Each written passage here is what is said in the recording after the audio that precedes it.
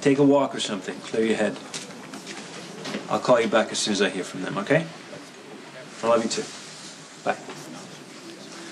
Hey. Hey. Is your mom okay? Yeah, it's fine. Just uh, I'm helping her put together a deal in Hong Kong. It's taken a turn for the worse, and she's just um, taking it a little too seriously. Right. Unlike her son. Well, Mom's usually a pretty savvy businesswoman. Just uh, since Jerry disappeared, well, he's most likely dead. She's a little off her game. I can only imagine. Actually, I wanted to ask you something about your brother. Is this a bad time? No, not at all. Do you know what kind of dealings he had with Claudia Zacchara? I made it a point not to get involved in my brother's dealings, so I don't think he had any business with Claudia Zacchara, as far as I know. And you're sure about that? Well, I mean, it's Jerry. You know what he was like with the ladies. Maybe they knew each other, if you know what I'm saying. She's certainly his type. Greedy, amoral, psychotic. It's not really helping much, is it? No, actually, it is. Thank you. So, there's something else that I. maybe need to tell you know, go ahead. No, no, no, no, no. You go ahead. I insist. Well, there's, um, there's only one way to really say this, and that is to just say it. Okay. Colleen and I have decided to um, give it another try. We've put the divorce on hold for a while. Wow. I'm really, I'm really sorry to hear that for your sake. Oh, Kate, I thought you'd be, I thought you'd be, be happy for me. I mean, at least I'm, I'm, I'm trying to stick this one out. I'm not running, you know? You know, Jax, I have seen you go through women like Candy. I've known you a long time. I really did hope that you'd end up with a woman with quality. Well, that is the plan. You know you deserve better, right?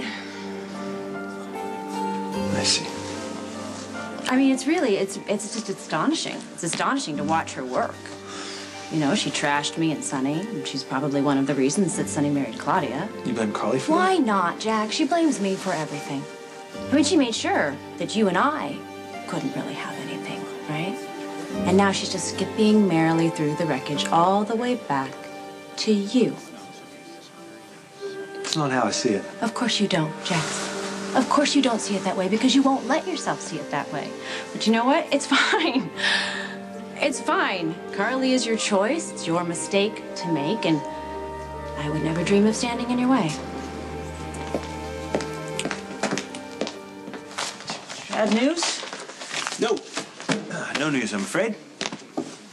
I'm, just, I'm waiting for some important uh, paperwork from Hong Kong, and uh, all I get is junk. Uh, Hong Kong? Helping my mother close a business deal. Ah. I have no patience for incompetence. Well, fortunately, I am here to very competently deliver you some good news. The tile work has all been completed on the Plaza View rooms. You serious? I'm serious. You have eight gorgeous luxury suites just waiting for your high-end clientele to start checking in and enjoying the view of the plaza, which is good because you've been turning away business. You know how long I've waited for that project to be done? I'm guessing a long time. Long time, since we uh, started rebuilding after the hostage crisis. Thank you very much. You've made my day. Well, I'm just delivering the good news. No, no, no. Don't be modest. This couldn't have happened without you. Hiring you is one of the best things I've ever done. if you do say so yourself. Well, in case you haven't noticed, Miss Falconeri, I'm the boss around here. What I say goes. Oh, good. I don't have to track you down. Uh, I'm afraid that those Plaza View rooms won't be opening after all. As a partner in this hotel, I could be sued if those rooms are found to be unsafe, and that's a liability I just can't afford. Well, it's a good thing that you're not a full partner. You don't get to make those kind of decisions. Uh, gentlemen, gentlemen, there's no need to worry here. We've passed all our safety inspections with flying colors. Mr. Cassadine's not interested in safety inspections. He's here to make sure that the Plaza View project is a failure. Isn't that right, Nikolas? Uh, with all due respect, sir, you might as well just burn a big stack of money in the parking lot because you're burning money if you don't make those rooms available to the guests. So, I have my reasons. well, as operations manager of this hotel, I can personally assure you that those luxury suites are good to go. Nevertheless, I have an injunction to prevent it. We don't open that wing until I get my own inspection. Okay. Make it happen. No, no, it's fine. I, I, I already did. I took care of it. We're on the schedule. Unfortunately, the inspector can't squeeze us in until the end of spring, so. Oh, well, we'll get another inspector. But this is a man that I trust. Miss Falconeri, Mr. Cassadine won't be lifting the injunction unless I sell him back Spoon Island. I'll make this really simple for you. I want my land back, and I want the matter settled today. Why are you suddenly in my face making demands? I'll, I'll give you 20% on top of what you paid for Spoon Island, and then I lift the injunction. That's a generous Oh, offer, don't you think? Let me think about that. Um, let's see. Uh, hmm. You see, I bought Spoon Island as an investment property to build a, a spa and a resort, golf courses, condos along the side. You know, that's what, what I'm trying to get at, Nikolas, is that it's worth a hell of a lot more than 20%. Well, it's more than just a plot of land to me, so you consider this fair warning. Sell me back my home, or you can kiss that precious little wing of yours goodbye, and I won't stop there. Hey, gentlemen, brought gentlemen. this on yourself when you guests. walked in here when Carly, Carly was vulnerable and you helped yourself to this hotel. The same way you helped yourself to Courtney. You remember her, don't you? Mm-hmm. All right, all right, all right. This is not a street corner in Bensonhurst, okay? Gentlemen, there is no need to ruin your beautiful suits. I'm sure we can discuss this like rational Discuss? There's human nothing to discuss. You have fun waiting until next spring.